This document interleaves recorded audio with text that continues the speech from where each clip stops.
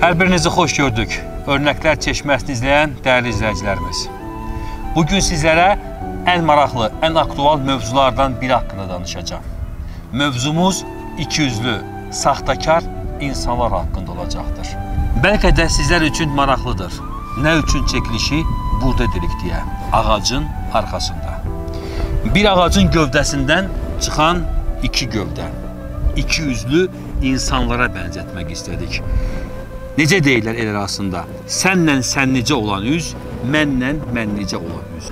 Yəni sənin yanına gələndə səndən danışır, sən aralaşan kimi sənin haqqında olmayacaq sözləri danışır. Üzünə gülür, arxandan quyular qazırlar. Və peyğəmbərimiz sallallahu əleyhi və səlləm bu insanların haqqında çox gözəl, düşündürəcək, ibrətli bir hədis buyurur. Bu insanlara Allahu Teala Quran-ı Kərimində münafiq deyir. Münafiq, yəni ikiyüzlü, saxtakar insanlar. Allah Rəsulu Hz. Muhammed Aleyhisselam buyurur ki, münafiqin, yəni ikiyüzlü insanların üç xüsusiyyəti var. Birincisi, onlar söz verdiği zaman sözündə durmazlar. Sənə bir söz verərlər. Misal olaraq, səndən borc alarlar. Qaytarmaq üçün söz verərlər, amma sözündə durmazlar. Üstlərində olduğu zaman pulu belə verməzlər. Artıq həyatları sözdə durmamaq kimi keçər.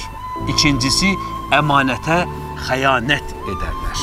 Yəni onlara kimsə dərdini danışar, sirrini danışar. Onlarla bölüşər, onlar da onlara güvənilən insanların danışdığı sözü, əmanəti kimlərləsə bölüşərlər və ya onlara bir şey təslim edərlər, o təslim edilən şeyə xəyanət edərlər. Üçüncüsü, ən əsaslarından biri də danışdığı zaman hər zaman yalan danışarlar. Çox böyük bir günahdır yalan danışmaq. Onların xüsusiyyətidir. Danışdığı zaman yalan danışmaq, şər atmaq, böhtan atmaq, ara vurmaq.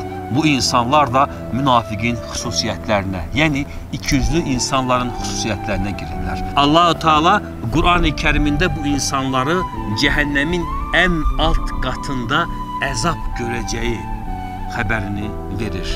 Uca Allah bu cür insanlardan, yəni saxtakar, ikiyüzlü insanlardan hər birimizi qorusun. Bu cür xislətli, bu cür xüsusiyyətə sahib olan insanlardan evladlarımızı, özümüzü, sevdiklərimizi qorumağa çalışalım. Allah Teala hər birimizi yar və yardımcısı olsun.